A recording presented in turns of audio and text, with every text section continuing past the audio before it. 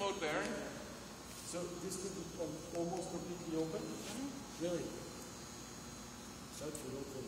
He's again, two engineers, so. No, that's that's this is non-load bearing. Everything rides on the columns.